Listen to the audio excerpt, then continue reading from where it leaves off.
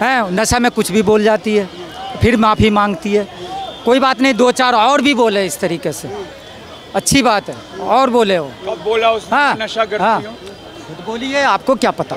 दिखाओ कभी YouTube Google में दिखाओ। करती है नशा सबको पता है। सबको दुनिया जानती है। नहीं। फिर बोले, दुनिया जानती यार। उन्होंने कुछ कह दिया तो आप अभी भड़क गए। नहीं सर मेरी बात अगर पूरे देश के किसानों को उन्होंने कह दिया ऐसा। किसानों के लिए कहा तो मैंने कहा ना। ये बोलती है वो नशा करती है और बयान दे देती है। ऐसा कब कहा है उसने? अच्छी बात है। अच्छी बात क्यों है? सुमिता रानी गई ना वहाँ से ये भी जाएगी। देख लेना तुम लिख लो और यहाँ पर जितने शकल देख लो मैं मिठाई बांटूँगा। कंगना जी को समझ में कुछ नहीं आ रहा है। बीजेपी वाले लोग, जो बड़े बड़े नेता लोग हैं, जैसे मोदी जी हो गए, अमित शाह हो गए, राजनाथ सिंह हो गए, ये सब इनको जो है मोहरा बनाए हुए हैं। और इनसे आलतू फालतू जो भी है आजकल ये बोल रही हैं दो तीन मरतबा बोल चुकी हैं, इससे पहले भी राहुल गांधी के बारे में बोल चुकी थी।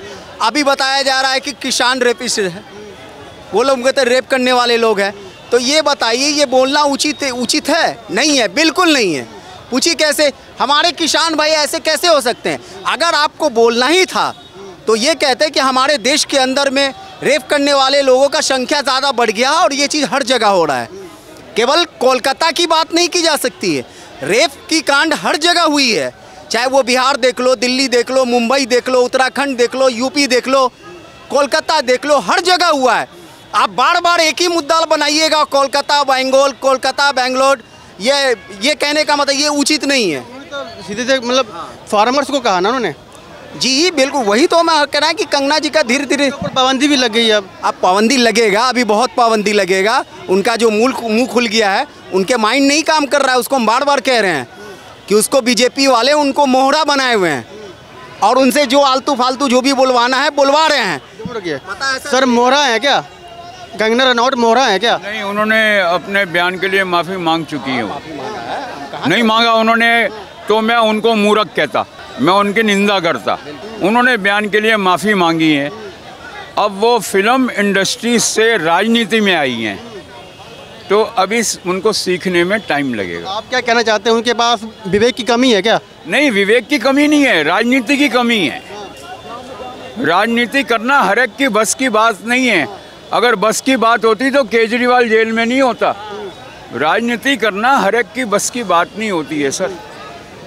किसानों को, देश के किसानों को इस तरीके से टारगेट करना कि वो रेपिस्ट हैं, अगर ऐसे हालात नहीं होते तो बांग्लादेश बन जाता पंजाब।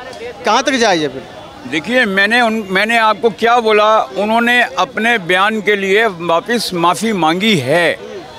अगर वो माफ़ी नहीं मांगती तो मैं सबसे पहले उनकी घोर निंदा करता। उन्होंने मुंबई में क्या किया था, ये भी सबको पता है। वो महाराष्ट्र गवर्नमेंट की, उद्धव ठाकरे गवर्नमेंट से भीड़ भी गई थी। उनका घर भी तोड़ा गया। तो वो शुरू से ही विद्रोही स्वभाव की रही हैं और जो उनके दिल में होता है वही मुँह से बोल देती हैं। लेकिन एक राजनीति ऐसी चीज़ है, राजनीति ऐसी जगह है कि यहाँ आपको अपनी ज़ुबान पे कंट्रोल करना पड़ता है। कौन सी बात कैसे कहाँ कही जाती है, ये सलीका हो तो हर बात सुनी जाती है। ये राजनीति है और राजनीति में मुद्दे भी ऐसे होते हैं। तो अभी उनको टाइम लगेगा, अभी जुम्मा जुम्मा चार महीने हुए हैं, सांसद बने हुए। ये बहुत बड़ी बात है कि मंडी के लोगों ने, उनके ऊपर कितना बड़ा कटाक्ष हुआ। आपको ध्यान है? उनको बोला, ये मंडी की चीज़ है। मंडी आप समझते हैं? मंडी की चीज़ है। ऐसा तक भी बयान विपक्ष की तरफ़ से, कांग्रेस की तरफ़ से आया। तो फिर भी वो वहाँ की जनता ने उनको जिताया है और वो अकेले दम उसने फ़िल्म इंडस्ट्री में राज किया है। नेप्टोइज्म के ऊपर जो जो आवाज़ उस, उन्होंने बुलंद की है, मेरे ख्याल से किसी हीरो हीरोइन ने बुलंद नहीं की है। तो अगर वो फ़िल्म इंडस्ट्री में परचम फहरा सकती है और मुझे पता है उनकी अंदर से नीयत साफ़ है, वो राजनीति में भी अपने क्षेत्र के लिए अच्छा काम करेंगे। सर क्या कहना चाहेंगे? कंगना रनौत ने जो कहा किसानों को लेकर। गलत कहा। हाँ? गलत कहा। अच्छा गलत कहा। हाँ जी। क्या कहना चाहेंगे सर आप? मैं कुछ नहीं गलत कहा किसानों के लिए हमदाता है ये तो आप अच्छी तरीके से ने पूरे हिंदुस्तान हम में सब में सबसे बड़ा वो है एक नेता जो सर्दी में गर्मियों में धूपों में मर जल कर कर के जो है अनाज बोता है सबको भोजन देता। इस तरीके से ठीक नहीं है कहना। वो तो खुद कह चुका कि मैं पहले नशा करती थी। हैं नशा में कुछ भी बोल जाती है फिर माफ़ी मांगती है। कोई बात नहीं दो चार और भी बोले इस तरीके से। अच्छी बात है और बोले वो कब बोला उसने हाँ नशा करती हाँ। हूँ? खुद बोलिए आपको क्या पता? दिखाओ कभी यूट्यूब गूगल में दिखाओ। करती है नशा सबको पता है। सबको दुनिया जानती है। नहीं। फिर बोले, दुनिया जानती है यार। उन्होंने कुछ कह दिया तो आप अभी भड़क गए। नहीं बयानी सर मेरी बात अगर पूरे देश के किसानों को उन्होंने कह दिया ऐसा किसानों के लिए कहा तो मैंने कहा ना। ये बोलती है वो नशा करती है और बयान दे देती है। ऐसा कब कहा है उसने? मेरा सवाल ये ऐसा कब कहा है उसने? भाइयों का भोजन देता। है। तुम उसके बारे में बोलने लग रहे हो। है तो हैं? कुछ भी बोल देना मैं तो बताऊँ दो चार और बोले। अच्छी बात है। अच्छी बात क्यों है? सुमिता रानी गई ना वहाँ से ये भी जाएगी। देख लेना तुम लिख लो और यहाँ पर से जितने शकल देख लो मैं मिठाई बांटूँगा। ये हरियाणा से भी और अभी पंजाब से भी जाएगा ये और ये भी जाएगी। परसों सरकार भी गिरा देंगे मोदी की। बस बस बस नहीं चल रहा। चल रही है बस घिस पीट के ज़बरदस्ती का। बस नहीं चल बैसाखी वाला। और क्या घिस पीट के चल रही है ज़बरदस्ती? दो हज़ार है। मेरे को अच्छे लगते हैं। दो हज़ार दो हज़ार एक मिनट। एक मिनट। 2014 से जो मोदी के विरोधी हैं मुझे वो बहुत अच्छे लगते हैं। अरे कट्टर कम से कम विरोधी तो हैं। तो मज़ा आता है। एक मिनट। मैं मोदी का तो एक मिनट। मैं मोदी का दस साल बहुत बड़ा सपोर्टर रहा। अब मैं उसका कारण भी आपको बता देता हूँ। क्योंकि जनता मोदी के साथ थी। दोनों बार क्लियर मैंडेट क्लियर फैसला जनता ने दिया। मोदी को गठबंधन की सरकार बनाने की ज़रूरत नहीं पड़ी।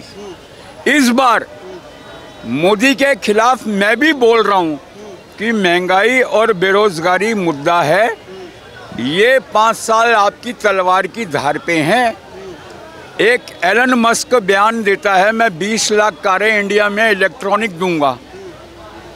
उसके पाँच छः आदमी, पाँच छः स्टेट का हमारा सर्वे करके भी जाते हैं। मामला गायब। तो मोदी को अगर बेरोजगारी दूर करनी है, महँगाई हटानी है, आज वो बोल रहे हैं, छाती ठोक के हम विश्व में पाँचवें नंबर पे आ गए हैं। अरे, आप जीडीपी के हिसाब से पाँचवें नंबर पे आ गए।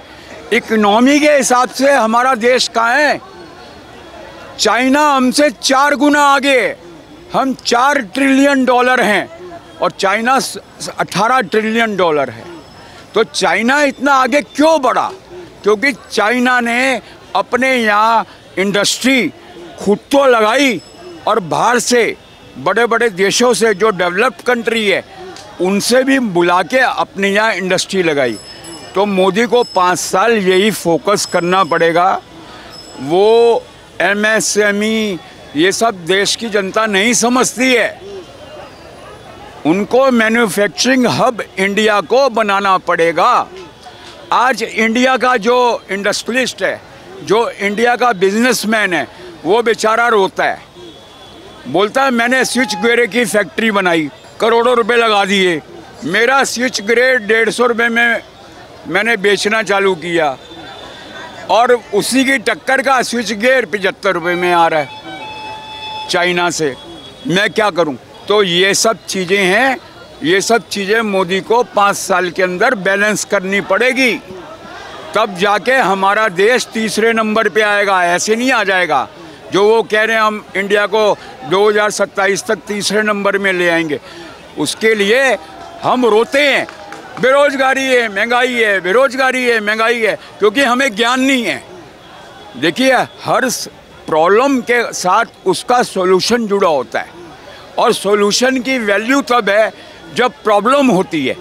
तो हम ही जनता मोदी जी जी को कह रहे हैं कि इस तरफ़ ध्यान दीजिए। इंडिया को इंडस्ट्रियल हब बनाइए मैन्युफैक्चरिंग प्लांट यहाँ लगवाइए।